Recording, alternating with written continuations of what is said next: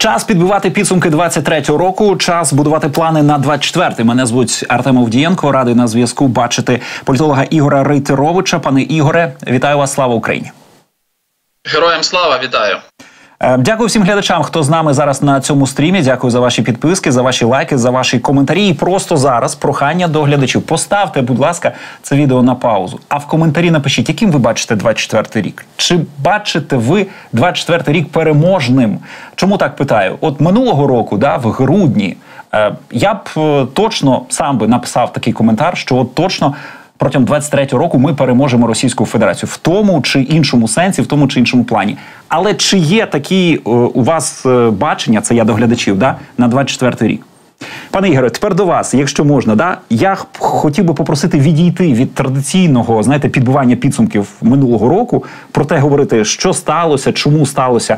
А я хотів би вас попросити зараз стати Нострадамусом, е, певною мірою зробити передбачення, яким буде 24 рік. Давайте, начебто, в нас тепер грудень 24-го року, і ми підбиваємо підсумки 24-го року. Можемо в таке погратися? Ну, з розумінням того, да, на основі всіх тих тенденцій, розумінь, бачень, що ми мали е, протягом цих двох років війни. Чи можемо ми погратися, який буде 24-й рік? Ну, прогнози, звичайно, справа невдячна, але абсолютно. Абсолютно. Але ми спробуємо. Я думаю, що 24 рік е, був чи буде роком, який нас точно наблизить до нашої перемоги, до перемоги в нашому розумінні. Я е, далекий від того, що він стане останнім роком російсько-української війни, але він може змінити дуже багато. І е, я вважаю, я тут є оптимістом. Я вважаю, що це змінить на краще саме для України. Я радий, що ви в цьому оптиміст. Можна я буду песимістом, е, буду сіяти зраду, да? а ви а ви навпаки будете говорити, що я перебільшую, згущую фарби і що направду все не так погано, як мені здається.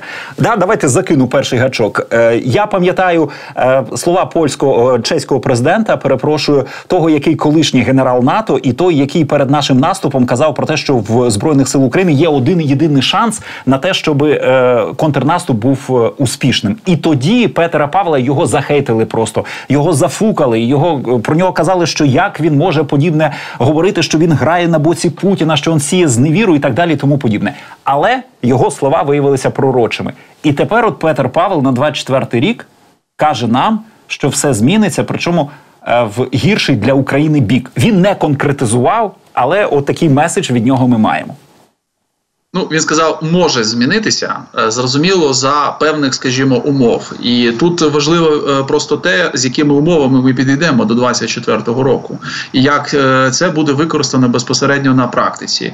Звичайно, все може розвиватися по категорично негативному сценарію. Це можлива історія, і ми повинні це враховувати. Більше того, ми не повинні боятися про це говорити. Повинна бути серйозна розмова і серйозна дискусія, як всередині країни, так і зовні, коли ми говоримо з нашими партнерами партнерами. Єдине, що про цей е, чорний негативний сценарій ми повинні говорити з прив'язкою до тих втрат, які понесуть вони. Тому що те, що вони не воюють зараз на полі бою, не означає, що в перспективі вони можуть втратити не менше ніж втрачає або вже втратила станом на сьогодні Україна. Тому Але чи чують звичайно... я перепрошую, буду перебивати, якщо можна да, ремарки вставляти. А чи чують нас, наші союзники, коли ми їм подібне кажемо? Ми вже використали е, цей слоган, цей меседж про те, що ми тепер захищаємо їх від російського вторгнення, але. Е, Мали опитування Реч Посполіта видання, да німецьке видання опитувало, скільки німців, скільки поляків готові взяти до рук зброю у разі, якщо буде російське вторгнення, і що 15% поляків, 17% німців, а ну або навпаки. Але кожен шостий німець, кожен е, шостий поляк готові воювати з Російською Федерацією. Вся решта каже, що або втечуть в безпечний регіон, або втечуть е, за кордон. Відповідно, начебто, вони розуміють да, от всі ці ризики. Менше з тим, що ми маємо від поляків, блокування на кордоні. Що ми маємо від німців? Обіцянки збільшити нам фінансову допомогу. Окей, вони обіцяють нас підтримувати. Менше з тим, просимо таурусів. Таурусів як не було, так і немає. Ну але фінансову допомогу збільшену в два рази вони так. в бюджет заклали. Тобто тут вони виконали цю обіцянку. До речі, оце опитування а, воно дуже показове, і нам треба його максимально використовувати. Чому? Тому що а, в них є можливість отак говорити, і невеликій кількості там німців або поляків виступати за те, що вони готові зі зброєю в руках захищати свою країну, тільки за тієї умови, що Україна фактично на сьогоднішній день закриває і ну, захищає їх. І і от треба доносити доносите до них це, що е, меншим, скажімо, злом для вас є якраз максимальна підтримка України, тому що якщо справа дійде до реальної війни, ви будете мати велику проблему. Абсолютно, це все американський президент казав республіканцям і демократам. Демократи почули республіканці, все таки таке враження, що не почули. Або ж ви скажете, що то торги, і все таки почули, але продовжують е, лобіювати власні інтереси. Ну, республіканці просто користуються зараз ситуацією, яка склалася, і я все одно переконаний, що вони дійдуть там згоди, буде певний компроміс, і допомога Україні е, обов'язково е, в тому чи іншому форматі буде виділена. Для нас зараз важливими більше навіть є європейці. Чому тому, що на відміну від Сполучених Штатів, європейські країни мають спільний кордон з Російською Федерацією, і вони прекрасно знають, що історія про 2-3 дні як вони говорили про Київ, реально може спрацювати на прикладі при всій любові і повазі до наших балтійських друзів, але якраз працювати в Балтійських країнах, тому що просто ці країни маленькі, там маленька територія, і відповідно якась е, ординська навала, ну як це люблять воювати росіяни, вона може певно спрацювати достатньо серйозно. Тому е, в цьому контексті е, нам треба якраз на це бити і показувати, що Україна на сьогоднішній день, е, якщо перефразувати назву ну книги відомого українського історика, вона Брама Європи називається. Да, можна перефразувати як щит Європи, і цю е, от історію ми повинні максимально на сьогоднішній день використовувати і доводити нашим партнерам, що якби не Україна, ви мали би зараз зовсім інший рівень проблем, ну які не зрівняні з тими проблемами, які ви вважаєте, що ви маєте на сьогоднішній день, і ви не готові з ними миритися.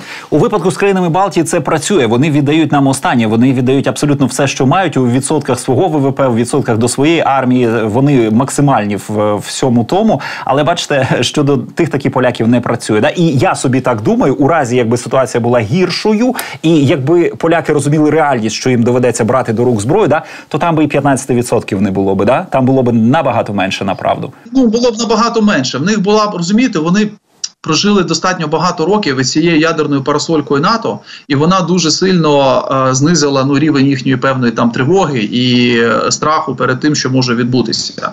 Але просто 21 століття і російсько-українська війна показала один дуже простий момент: що в 21 столітті можлива війна безядерна, тобто війна конвенційна, і вона може бути глобальна, тому що ну я погоджуюся до речі з деякими західними аналітиками, які написали свої апокаліптичні сценарії на 20 2024 рік. Про те, що якщо Росія нападе, наприклад, на країни НАТО, далеко не факт, що НАТО використає ядерну зброю саме проти Російської Федерації, і в цьому контексті е, мені здається, Росія якраз на це ставку робить, і нам треба це доносити. Нам треба бити на це, що ви абсолютно не захищені тим, що у вас розташовані десь там, ну в Німеччині, наприклад, е, там ядерні ракети, які вам постачає Сполучені Штати, або там ядерна зброя є у Франції. Це не є гарантією, що ваші уряди демократичні і гуманістичні, гуманні цю ядерну зброю використають е, до речі, в тому числі щоб вдарити фактично по своїй території, якщо їм треба буде зупинити ті орди росіян, які будуть по цій території просуватися, і оце ми повинні зараз максимально використовувати, робити на це ставку. І тоді повірте, прогноз щодо 24-го року, навіть від е, дуже ну дуже поважної людини, президента Чехії, ну він буде дещо іншим. Да, тобто він але бачите, може так статися, що навіть у разі, якщо вони е, захочуть використати п'яту е, статтю е, статуту НАТО, да може так виявитися, як з армією е, Німеччини з Бундесфером, да, коли виявиться, що половина танків не заводиться, а третина з цієї половини е, взагалі не заправлені, і так далі, тому подібне, що виявиться, що і немає тієї армії, як їм це думалося. Ну да, це до речі, дуже велика проблема, і зараз Європа повинна е, не заглиблюватися всю четверту і четверту і п'яту статтю, там і про консультації, взагалі про безпосередню допомогу. Вони повинні думати, е, як їм збільшувати е, власну військову потугу, як до речі, конкретно конкретно національну кожної окремо взятої країни, так і загальноєвропейську. Тому що дивіться, можливо, хтось не знає, НАТО не має своєї власної армії це армії країн, які входять до альянсу, і там немає окремої армії, яка от приїжджає кудись і вирішує всі проблеми. Це національні армії. Чим сильніші національні армії, тим потужніший альянс. Мені здається, що на сьогоднішній день це як мінімум е, п'ять країн, які знаходяться поблизу України, дуже добре зрозуміли. Це країни Балтії.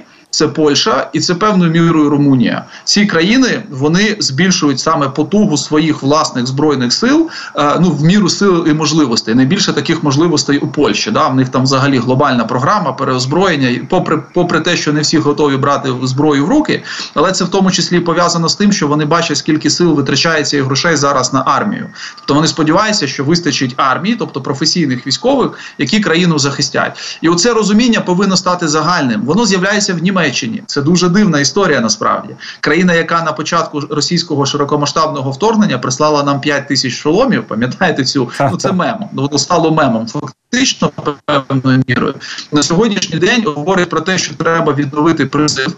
Е, призов, що треба е, повертатися по суті до ну загальної армії, до загальної військової повинності, тобто ну розширювати максимально підготовку там резерву і так далі, і бути готовими до того, що ну можуть бути проблеми безпосередньо з Російською Федерацією в певній перспективі. Ну тільки е, для німців зараз, мабуть, великий плюс буде в тому, що вони будуть знаходитися на правильному боці, тобто не так, як в 41-му році або в 39-му, коли вони розв'язали взагалі там Другу світову війну.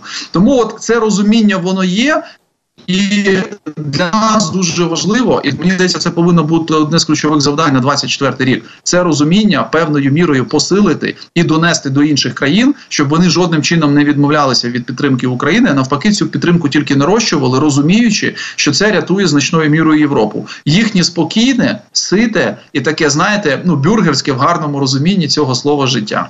Пане Ігоре, повертаємося до гри в Настродамуса. Знаємо про те, що грошей від Європи Україні на 24 24 рік і на наступні 4 е, загалом роки не було затверджено. Що до цього питання вони повернуться 1 лютого. Знаємо, що немає затверджених грошей ініціативи від е, демократа Джо Байдена щодо фінансування в 61 мільярд доларів е, для України в американському бюджеті, і що до цього питання мають повернутися в середині січня, адже інакше все таки американському е, бюджету буде шатдаун. Тому е, маємо такі от маркери, маємо такі дати, да, умовно кажучи, 17 січня і 1 лютого граємося в Нострадамуса в ці дні до цих дат. Чи буде консенсус між Європою і Віктором Орбаном, угорським прем'єром? Чи буде до цих дат консенсус між демократами та республіканцями по мексиканському кордону, щоб затвердити це фінансування Україні? От якщо можна спрогнозуйте, пограйтеся в Нострадамус. Дивіться, з Європою дуже легко грати в Нострадамус.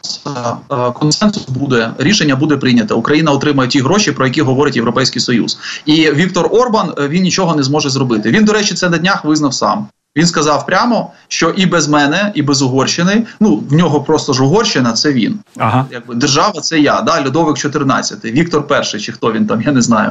А, В них там вважає себе. А, Він прекрасно розуміє, що це можуть прийняти і без його, е, скажімо, там згоди чи не згоди. Тому він зараз максимально буде використовувати цей час, щоб просто вибити собі якісь преференції, потім приєднатися до цього рішення. Тому з Європою е, рішення буде прийнято, і воно буде позитивне для України. Я сподіваюся, що вони, до речі, не зупинять зупиняться, і після 50 мільярдів на 4 роки відразу вирішать питання по 20 мільярдів на військово-технічну підтримку. Там про цей спільний бюджет, про який вони говорять, тому що ці гроші для нас також будуть дуже важливими в 2024 році.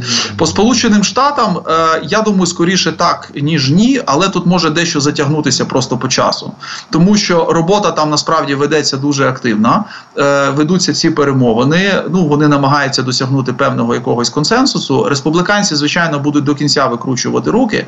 Але розумієте, тут е, є дві дві проблеми вже для них. По-перше, це внутрішньо республіканська криза, а вона стає достатньо явною, тому що якась частина республіканців ну надух не переносить Трампа. І якщо вони побачать руку Трампа в блокуванні взагалі оцього голосування, а рука там ця буде, а може навіть не рука, знаючи Трампа, він влізе туди весь. Просто да і буде в цьому брати максимальну участь. Е, їм це може, м'яко кажучи, не дуже сподобатися, і вони в піку йому можуть е, ну швидше, якби це рішення прийняти.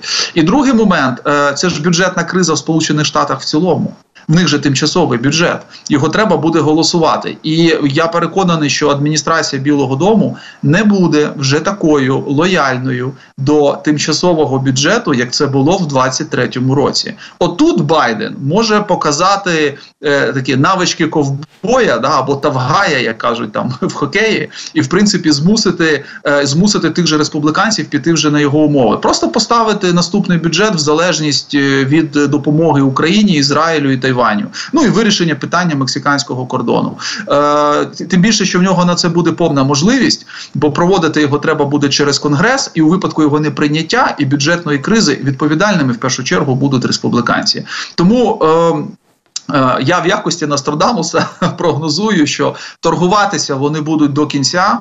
Ми будемо бачити багато цікавих речей, але в кінці народиться якийсь величезне таке е, не знаю, величезний гомункул. Е, це буде такий пакет, от саме пакет, куди, як казав вже покійний спікер Верховної Ради, впихнуть не впихуємо. У нас був такий Іван Степанич Плющ, Він колись сказав: вони поєднають там все, але за це проголосують. І потім кожен скаже, що ми не ми саме ми вирішили цю кризу. Ми всім допомогли. Ну і вже е, трошки відійдуть від України, а зосередяться на внутрішньополітичних аспектах виборчої кампанії і багатьох інших цікавих речах. Пане Ігоре, але менше з тим, так от е, кажуть, що е, хороший знак, що демократ е, Байден готовий піти на піст поступки республіканцям в питанні цієї міграційної кризи. Мовляв, це ознака того, що консенсусу досягнуть. Менше з тим, знаєте, лунають голоси такі, що це була помилка з боку демократа показати республіканцям, що він готовий на компроміс, тому що республіканці е, можна сказати, там десятками років чекали такої можливості домогтися від е, демократів посилення міграційного законодавства, і що вони цим будуть ну просто по максимуму намагатися скористатися, і що вони на компроміс не підуть, і в сподіванні дотиснути Байдена до неможливого, вони перегнуть палку, і цей компроміс трісне. Ну, якщо цей компроміс трісне, тоді вони будуть мати проблему з бюджетом бюджетом Сполучених Штатів. Розумієте, це ж така гра, в яку можна грати вдвох. І в принципі Байден це вже неодноразово продемонстрував. Мені взагалі здається, ми не знаємо поки до кінця всієї публічної інформації, що там попередньо була досягнута е, домовленість, що ми пропускаємо тимчасовий бюджет, а потім голосуємо відповідно за допомогу. Uh Але от знов ці радикальні республіканці в останній раз е, ну момент оці домовленості, коли кулуарні, вони по суті поламали, і прийшлося заново виносити в публічну площину і обговорювати. Ну обговорювати всі ці питання, да, от в такому форматі, в якому це зараз відбувається.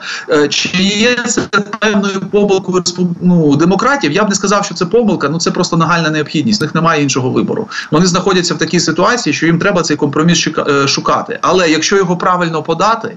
Якщо це правильно закласти і правильно зробити, ну вони також від цього зможуть отримати певні дивіденди. І до речі, це по ним не нанесе якийсь колосальний удар з точки зору там електоральних перспектив або того факту, що е, колишні мігранти або ті, хто тільки нещодавно там емігрував, наприклад, в Америку, да вони відмовляться відразу від підтримки демократів. Ну воно так просто не працює. Ці люди не перекинуться до республіканців і знов таки обираючи між, ну наприклад, там ми говоримо Байденом і Трампом. Ну це найбільш імовірний сценарій на сьогоднішній день. Ну вони зрозуміло підуть і оберуть в своєму розумінні менше зло, і цим меншим злом буде не Трамп, а цим меншим злом буде звичайно Байден.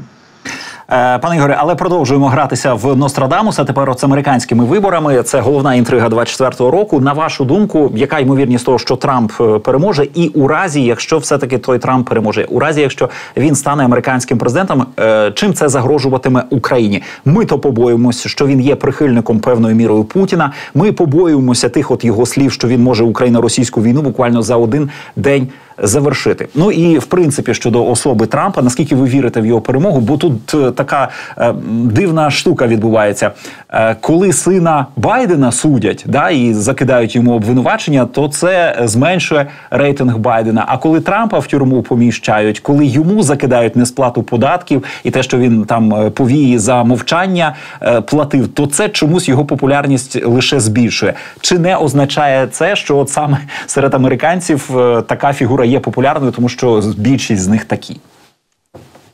Ну я не думаю, що більшість з них такі. Е, секрет популярності Трампа він е, в простих рішеннях. Розумієте, багато просто політи... Е, громадян Сполучених Штатів вони втомилися від складної політики, від політики, яка робиться на капіталістських там пагорбах, і від політики, яка ну на їхню думку, на їхню думку, є такою, знаєте, кулуарною, що вони певною мірою від цієї політики відділені. Це фіксують, до речі, дуже багато американських науковців і політологів. Ну найбільш відомий з них він часто буває в Україні, є великим другом України, наприклад, Френсіс Фукуяма. Він про це прямо говорить.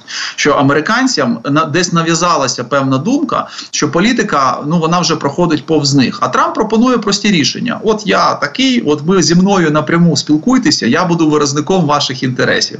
Я буду вирішувати все так, як хочете ви. Він повертається до речі до формули кінця 18 століття. Ми народ, да, як там записано в Конституції Сполучених Штатів, тільки в якості народу він видає себе. І як це не дивно, в 21 столітті, в високорозвинутому інформаційному суспільстві це працює. Але наскільки воно зможе довго працювати, ну це питання насправді відкрите. Дивіться, Трампу може завадити. Ну, по-перше, е, яка якийсь конкурент всередині республіканської партії. Зараз вони ну дуже далекі відстані від нього знаходяться, але все ж таки давайте не будемо забувати, що є ще трохи часу. І якщо там все ж таки будуть нормальні праймеріс і нормальні внутрішні дебати, на які Трампу прийдеться прийти, ну от далеко не факт, що він виграє. Ну у Десантіса він виграє, а от у Гелі може і не виграти. І в принципі ситуація може помінятися достатньо серйозно, якщо особливо на неї поставлять там внутрішньо е, республіканські спонсори. І другий момент, ви правильно абсолютно зазначили, пане Ігоре. Я зараз, за... якщо можна, sorry, перебиваю вас, е, поясню глядачам, що направду яка особливість американської політики, що республіканці ще між собою мають визначити, кого вони від себе відправлять е, для демократів в конкуренти, і не факт, що направду е, Трамп ці праймеріз внутрішньопартійні політичні вибори виграє. Можливо, від республіканців е, політичним конкурентом Джозефу Байдену стане хтось інший. А можливо, і Джозефа Байдена від демократів також не буде. Тому от це ще інтрига їхніх американських виборів. Перепрошую, що так, переб... у Трампа єди... у Трампа єдине, що з нього зараз там майже 60% підтримки. А у Десантіса і у Гелі там десь ну трошки більше 10%. Але ми ну розуміємо, що були випадки такі в американській історії, коли ця перевага дуже швидко зникала. Достатньо провести кілька дуже вдалих там е, дебатів, і можна в принципі її якимось чином там нівелювати, вирівняти і так далі. Е, це перший момент. Е, ну з Байденом дивіться з одного боку, все більш-менш зрозуміло. В нього немає по суті якихось там конкурентів всередині демократичної партії, але я останніми днями. Почав все більше зустрічати таку цікаву версію, що план Б на всякий випадок демократи готують що це може бути інша людина.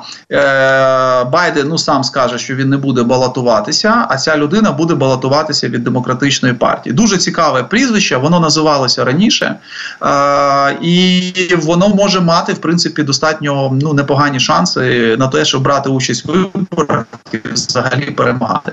Е, Ну щоб не тримати інтригу, я скажу, що мова йде про дружину колишнього президента Барака Обами. Тобто, в принципі, начебто, там з нею вже якусь підготовчу роботу проводили, і як варіант на всякий випадок вони цей сценарій розглядають. Тобто, це навіть не віце-президентка, їй не вдалося. Ну Харріс не вдалося якби піднятися до такого рівня. А от про Мішель Обаму думають і думають достатньо серйозно. Але поза тим. По-перше, виграти праймеріс, і другий момент. Ви дуже влучно зазначили, що коли його затримують, в наручниках кудись везуть, роблять оцю фото, оце фото, як там американське, да, і він на ньому заробляє там 10 мільйонів, продаючи якісь мерчі. В нього десь популярність, ну не те, що там е, сильно зростає, але вона точно не падає. А можливо, дійсно він там деякі пункти набирає. Але тут є один дуже важливий нюанс. І це треба враховувати. Одна справа, коли проти нього відкриті справи і вони там ведуться в судах. Інша справа, якщо він реально до виборів опиниться за ґратами. А така ситуація цілком імовірна.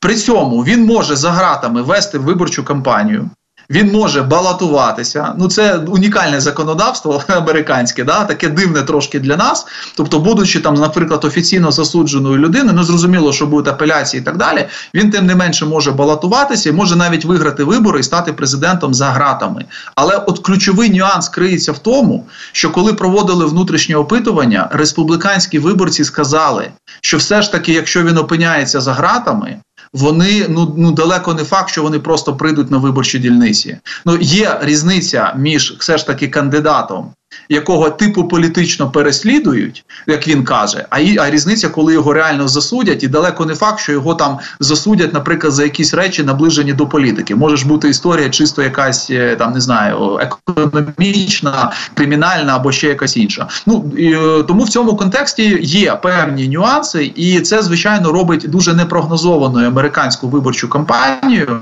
і такою, знаєте, дуже цікаво з точки зору дослідження. У випадку, якщо він перемагає, е, хвилювання хвилюватися треба не тільки Україні, хвилюватися насправді треба всьому світу, тому що Трамп ну з одного боку він є прихильником такого ізоляціоністського курсу, і зрозуміло, що скоріш за все він буде намагатися його впроваджувати і надалі.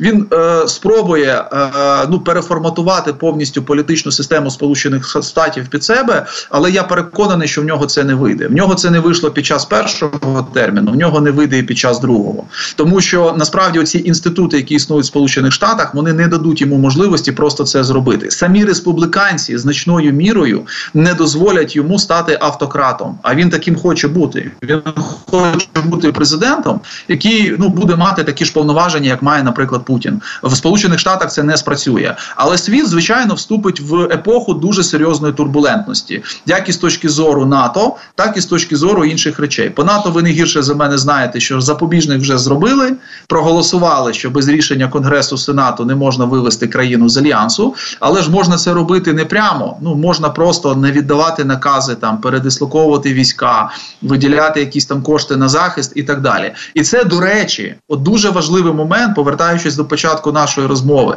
Європа на це повинна зараз зважати і відповідно готувати власні збройні сили і допомагати ще більше Україні, тому що умовна війна Путіна проти Європи.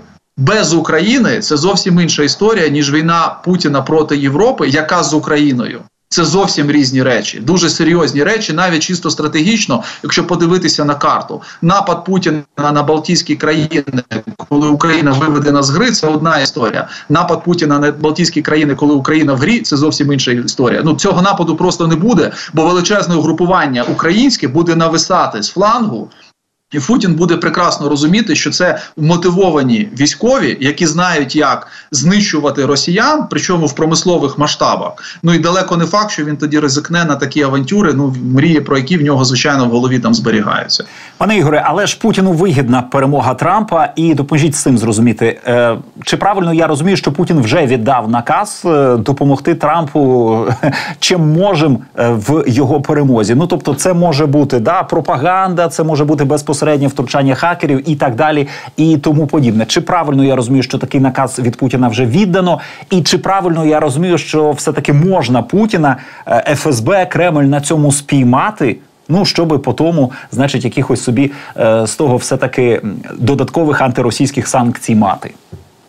Ну, наказ віддано ще давним-давно. Я думаю, що це ще з першого там терміну Трампа, і хоча там не змогли все до кінця довести в американських судах, ну, це значною мірою просто пов'язано з тим, що росіяни дуже добре ховали ці кінці у воду. Да? Тобто вони намагалися якось уникнути цієї відповідальності. Е, те, що у Путіна є, е, ну дивіться, це ірраціональна насправді віра що з приходом Трампа ситуація mm -hmm. там зміниться відразу на користь Росії, це також факт.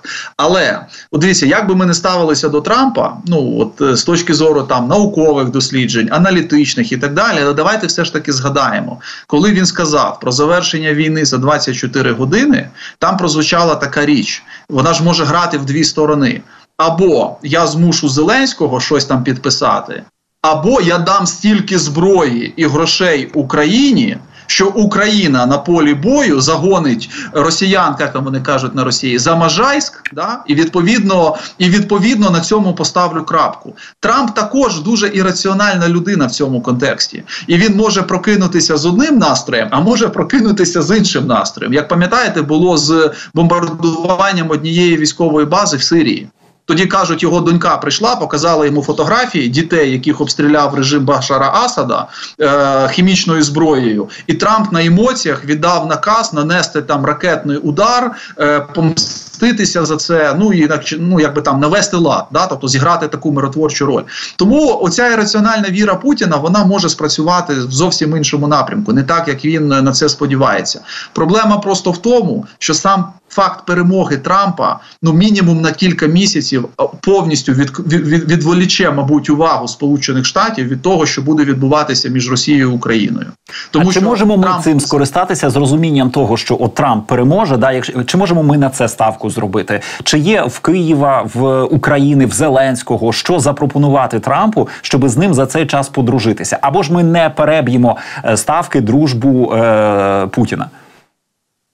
Е, дивіться, я дуже хотів би вірити. В мене на жаль немає такої інформації, і навіть опосередковано я поки ну, хоча опосередковано є певні натяки. Давайте так, що такий план є, але він точно повинен бути. Чому тому, що при всій е, повазі до там демократів і до Байдена, якщо там відбудуться певні зміни, ми повинні будемо мати нормальні відносини з новою адміністрацією і з новим президентом. І тому е, дуже правильним, до речі, було запрошення і Зеленського. От хтось поставився до нього неоднозначно, коли він сказав Трампу: так приїдь і покаж, ну, подивись. Mm -hmm. Да? Але це нормальна насправді історія. Ми повинні бути відкриті для будь-якого діалогу, і ми повинні на всякий випадок придумати дійсно щось таке, щоб стати Трампу цікавим. Ну, в тому плані, щоб він перемогу України сприйняв як свою власну перемогу. Він насправді він же цього хоче. Він хоче вирішити проблему. От його розуміння, щоб йому весь світ аплодував і казав, що бачите, прийшов Трамп там, е, як там Трамп прийде, порядок наведет. Да? На Росії так казали іноді. Бачите, Але ми то сподіваємося. Якщо... Дивіться, але але якщо це буде зроблено через наше бачення, ну так це ж буде в тому числі і нашим успіхом. Тому ми повинні щось таке запропонувати, щоб він зрозумів, що домовленості з Україною і підтримка України це набагато вигідніша історія, ніж якісь міфічні домовленості з Путіним, вирішення проблем з Російською Федерацією, і потім там переорієнтація всі, всієї уваги на Китай. Да? Тому що це от є от ключовим таким напрямом і наративом Трампа. Він вважає, що просто головним ворогом для сполучених. Сполучених Штатів є не Росія, а головним ворогом є Китай. От в цьому проблема. Значить, треба якось йому довести і показати, що Росія насправді також ворог, і причому ворог зараз набагато більш небезпечний, ніж, наприклад, е, той же Китай. Бо Китай ніде не каже, що ми захопимо Аляску. А на російському телебаченні дуже часто про це говорять. І говорять, ну я навіть не знаю, може вони не серйозно це кажуть, але виглядає насправді ну як відверті такі погрози, да, і заклики для до, до того, що ми розв'яжемо якусь там третю світову війну. Байдену можна показати, що Пекін на цій війні збагачується, що направду переключив е, Пекін е, всю торгівлю е, Росії на себе. Що все те, що раніше купувалося в Європі, в Сполучених Штатах, тепер купується Росію в Китаї. і, Відповідно, продається тепер все в Китаї або через Китай. Можливо, це для Байдена спрацює, що ця війна. Економічно підсилює Китай, тому краще би все-таки дати нам в цій війні перемогти. Але е, якщо можна, все таки про цей от план е, нашої дружби з Трампом, у разі, якщо ми візьмемося, да якось все таки з ним пробувати дружити, чи не переключать це е, демократ, чи не відверне демократів це від нас? Перше запитання. І друге запитання. От ви кажете, що Трамп прийде, порядок наведет. А чому це з Байденом не спрацювало? Я пам'ятаю, знаєте що? Я пам'ятаю от всі ці розмови, що Америка притримує нам допомогу, тому що чекає початку президентської кампанії. А от як почнеться президентська кампанія, Байден дасть нам все, що тільки треба, щоб ми перемогли, і тоді, мовляв, запише цю перемогу е, собі в плюс, і ця перемога України допоможе йому перемогти. Чому такого не сталося? Ні, ну по-перше, кампанія ж тільки починається, вона uh-huh. ще навіть офіційно не розпочалася. І до і далеко не факт, що якраз оцей сценарій не буде реалізований в 2024 році. Uh-huh. Плюс давайте згадаємо про одну просту річ: а де відбудеться саміт НАТО в 2024 році? Він відбудеться в Вашингтоні, і відповідно він відбудеться на території Байдена. І Байден може вийти з зовсім іншими заявами і зовсім іншими, скажімо, ну стартовими можливостями. Тому я би цей сценарій до кінця не відкидав. Uh-huh. Він він насправді насправді може бути, і може бути таке, що 24-й рік, з точки зору там певної допомоги, він е, буде незрівнянно кращим ніж, наприклад, той же 23-й рік. Це можлива історія. Ну це оптимістичний сценарій, але ми можемо його враховувати з приводу відвернення уваги там демократів і так далі. Ну дивіться, нам же ж не треба зараз е, ну прям дуже дуже сильно намагатися почати дружити з Трампом. Мова про це не йде. Мова йде про те, що ми просто повинні мати на всякий випадок певні якісь контакти, ну певні якісь джерела, до яких ми можемо звернутися, е, коли, наприклад, вже вибори завершаться, буде оцей період в Сполучених Штатах. Просто є достатньо тривалий період. Це е, фактично е, листопад, грудень і січень місяць наступного року, коли ще залишається старий президент, але він якби передає владу новому президенту. Тобто, ми повинні підготувати на всякий випадок зараз оці різноманітні там е, контакти для того, щоб потім їм скористатися, якщо ситуація піде, наприклад, по сценарію там перемоги Трампа. От і все. І зрозуміло, що Ми е, ну не жодним чином не повинні втручатися в власне внутрішню американську виборчу кампанію, тобто коментувати, які хто там для нас найкраще в якості переможця і так далі. При цьому уклінно нормально дякувати Байдену за ту допомогу, яку Сполучені Штати надавали і надають Україні. Це нормальна історія. І повірте, демократи вони прекрасно це розуміють. Ніхто не буде там на емоціях. От ви там намагалися зв'язатися з представниками Трампа про щось там поговорити, робити якісь негативні висновки різати допомогу Україні. Ну світ цинічний і там е, підтримують тих, хто в принципі свою позицію нормально представити, нормально захистити і нормально її е, промотувати, ну тобто просувати да там на на, на різних, скажімо, рівнях. І от ми повинні на всякий випадок такий план на сьогоднішній день підготувати. Можливо, залучити зараз, до речі, е, там політиків другого, третього ешелону, які можуть спілкуватися з республіканцями. Ну тобто, в нас же є також представники ну таких сил, які е, за своїми, ну давайте так скажемо, за своїми ідеологічними переконаннями можуть бути там наближені певною мірою до цих крайніх крайніх республіканців. Ну якось спробувати налагодити якісь зв'язки там, заходити заходити через військово-промисловий комплекс. Трамп же про Америку, про гроші. Розвиток американського ВПК це гроші. А як може розвиватися ВПК? Як він розвивається зараз, в тому числі збільшуючи допомогу Україні, виготовляючи все більше і більше нової зброї? От заходити поки так. Щоб ті ж радники Трампа казали, що е, шановний Дональд, я не знаю, як його по батькові, ну в них не вживають по батькові, да там пане Дональду, а давайте не поспішати. А от дивіться, тут насправді може бути зовсім інший сценарій, коли ми максимально допоможемо Україні. Врешті-решт, ти ж був першим президентом, який продав Україні Джавеліни. Тобто не Байден це зробив, це ж Трамп зробив. Ну він продав. Да? Була така історія, але це ж може піти в певний плюс. І от треба починати працювати так обережно, але постійно. Тобто, нам вже ну немає часу шукати, ну і намагатися їх по максимуму в найближчий час використати.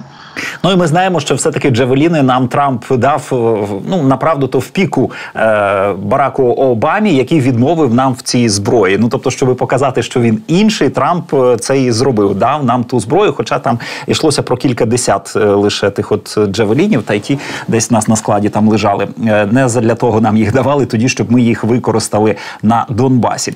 Але якщо можна, да, давайте про війну. От яким буде 24 рік? 23-й мали допомогу від союзників, але все-таки певних тих успіхів, які хотіли мати на полі бою, ми не отримали. Тепер знаємо, що зброї буде менше, е, що все-таки в нас на тепер вже брак боєприпасів. Що нам союзники через публікації в змі радять ставати в ту от глуху оборону. От такі поради нам принаймні на 24 рік. На вашу думку, з розуміння всього цього, от які плани на тепер в генштабі зсу на той 24 рік малюють? Ну мені здається, е, тут ну звичайно військові експерти краще в цьому розбираються, але з тієї інформації, яку ми маємо, мова буде йти ну принаймні в перші місяці 24-го року про динамічну оборону. Тобто, ми будемо е, максимально тримати фронт. Е, знищуючи росіян. Е, дуже добре до речі, я тут от мені сподобалася ця фраза. Написав один німецький журналіст, каже, що там стратегія українських збройних сил на найближчі місяці дуже проста: вбивати, вбивати і вбивати. Ну росіян. Тобто, це правильний насправді підхід, який дозволить нам накопичити ресурси. І дивіться, е, я ну не сильно погоджуюся з тим, що ми можемо мати менше допомоги. Я поясню, що я маю на увазі, тому що все ж таки, все ж таки, ми не отримали здається, навіть і третини від того, що нам по деяким напрямам було обіцяно в 23-му році. Uh Воно тільки ще в процесі передачі, і може, і, і навіть те, що ми отримали, далеко не все було використано. Це також важлива дуже історія. Про неї, до речі, чомусь останнім часом почали більше активніше говорити, що не так е, не так все погано здається на перший погляд. А Україна і конкретно там головнокомандувачі, військові вони щось там приховали, щось притримали. Тобто не все було використано так, як насправді ну там сподівалися. І тому можливо, от залишки того, великі залишки, які ми повинні були отримати, йдуть якраз в 24-му році. Плюс, все ж таки, європейський союз хай повільно, хай бюрократично, але збільшує темпи військового виробництва. І зрозуміло, що це може покрити наш брак в боєприпасах і в якихось інших речах. А після активної, успішної, динамічної оборони, ну я абсолютно не виключаю, що ми можемо побачити знову якісь наступальні дії, які Ну, будуть мати зовсім інший результат, тому що в нас е, ну з'явиться ще е, десь весною скоріш за все, 24-го року, те на що ми давно чекали. А саме літаки. Вони звичайно, я погоджуюся з усіма, хто про це говорив. Це логічно. Вони не змінять прям суперкардинальну ситуацію. Ну знаєте, як там помахом чарівної палички, і про це казав і генеральний секретар НАТО, і в тому числі Петер Чех про це казав. Да, що воно не змінить все так за секунду. Да, воно не так працює, скажімо. Але в цьому контексті, е, але в цьому контексті е, все все ж таки буде додаткова перевага для наших збройних сил, яка дозволить краще планувати і проводити саме наступальні дії, тому що ми маємо яку проблему ключову це ми мінні поля за великим рахунком. Маючи літаки, ми зможемо краще ще більше вибивати російську артилерію, яка дозволить нам швидше і безпечніше розміновувати ці поля. Тому ситуація направді, ну, направді може бути зовсім ну не такою, якою вона була в 23-му році, бо зроблені висновки, бо зроблені розроблені нові якісь там плани, і тепер головне все це правильно використати. Ну і головне, щоб підтримка, звичайно, наших партнерів все ж таки залишалася, хоча б на якомусь стабільному, більш-менш рівні, і ми чітко могли прогнозувати прогнозувати, до чого це призведе, і наслідки, які цієї підтримки будуть.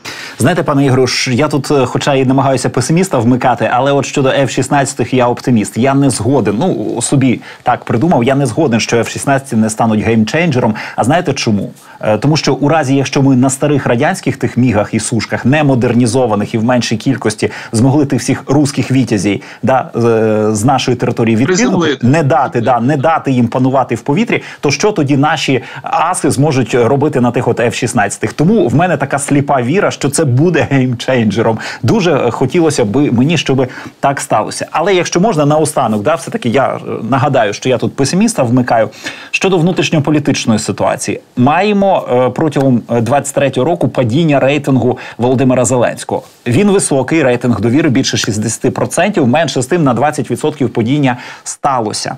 Протягом 24-го року, е, що буде з президентським рейтингом, з розумінням того, що можливо йому все-таки прийдеться підписувати мобілізацію. Знаємо від нього про запит від військових на півмільйона українців. Знаємо, що він категоричний в щодо Е, мобілізації жінок він заявив, що не буде подібний законопроект про підписувати, навіть якщо він буде проголосований в Верховній Раді, але може так статися, що доведеться йому робити, доведеться йому йти на ті от непопулярні кроки, які точно обвалять його рейтинг. От я про це хотів би вас наостанок попитати.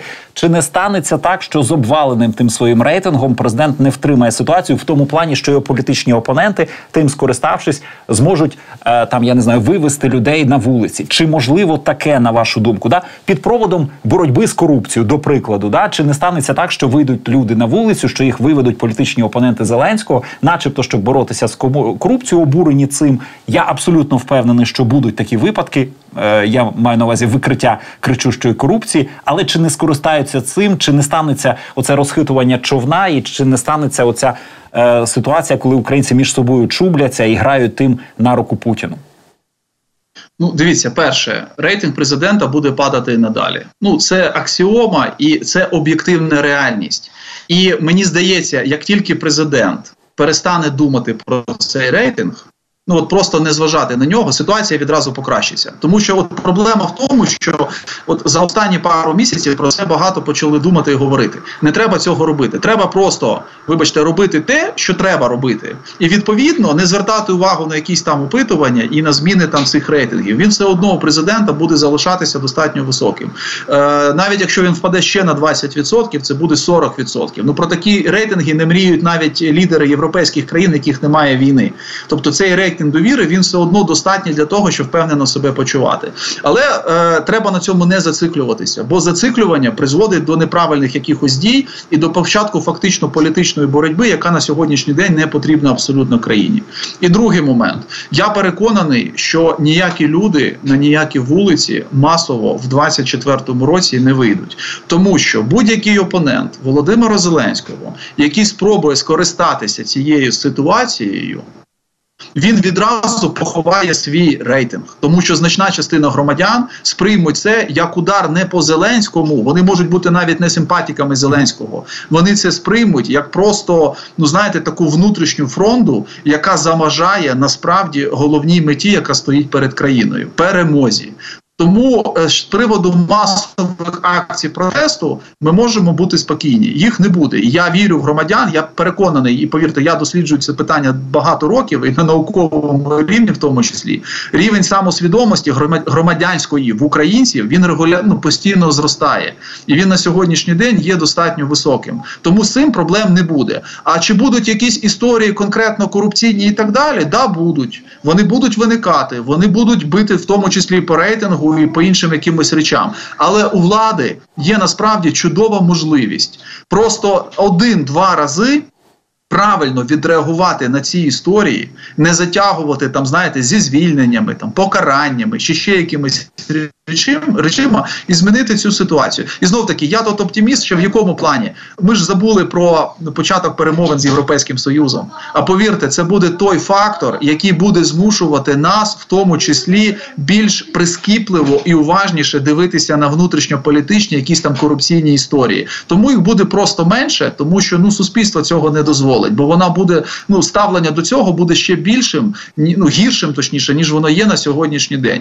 Е, і е, до речі, ну завжди є ж прекрасний вихід з ситуації. Можна буде там не вибори оголошувати. Я не вірю в вибори в 24-му році, тому що це нереально просто зробити. Ну як мінімум, там е, в першій половині це точно. Але, наприклад, переформатувати той же кабінет міністрів, да, це можлива історія. Це дозволить десь випустити пару і можливо привести туди дійсно людей, які ну дадуть відповіді на ті питання, які стоять перед країною, тому що мені, от особисто, як громадянину України, нинішній кабінет міністрів категорично не подобається. Я вважаю, що він е, значною мірою займається не тим, чим він повинен займатися.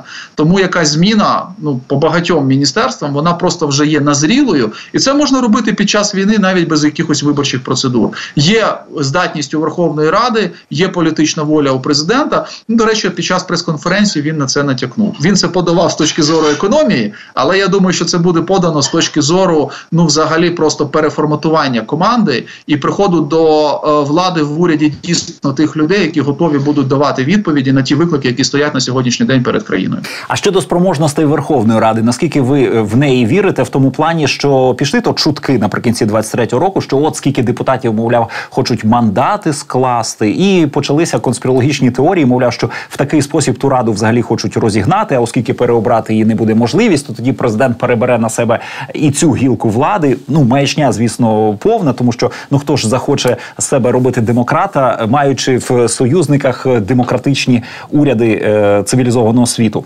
Але менше з тим, чи таке можливо, на вашу думку, і ну я наперед відповідь знаю. Менше з тим по Верховній Раді ще одне запитання е, маю від е, народних депутатів наприкінці 23-го року неочікувано отримали легалізацію медичного канабісу. Чому неочікувано? Тому що я до останнього направду собі думав, що вони з іще не настільки дорослі, щоб за те проголосувати правильно. Це раз і два. Я думав, що все таки ментівська та мафія, яка те все кришує, занесе достатню кількість грошей і все таки купить голоса депута, голоси депутатів, щоб вони проте за те не проголосували. Але це сталося.